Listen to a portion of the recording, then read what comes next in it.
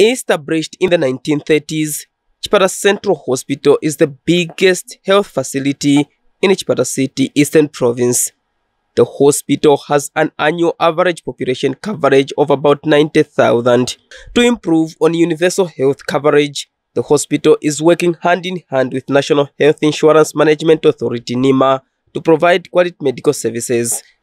Hospital Medical Superintendent Dr. Mbinga Mbinga attests that the hospital has registered over 7,000 members under NHIMA. Our ICU was, was done. We used to have um, chair um, a three bed capacity ICU. That was obviously very inappropriate for our level of care. But we've now been able to expand it to a nine bed capacity uh, plus ICU, again with the support of, uh, of NHIMA financing.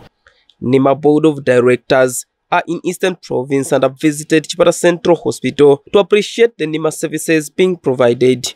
Those uh, drugs that are essentially for like the essential package that we provide as NHIMA, we'll try as much as possible to encourage uh, all the um, healthcare providers to have for uh, those uh, drugs. But at a strategic level, uh, we're going to work with uh, uh, ZAMMSA uh, to ensure that uh, drug availability is very high. But we are impressed with the, uh, what has been done uh, in this hospital in terms of uh, the availability of essential drugs, which is at 95% level, which is very, very good and would want that to continue.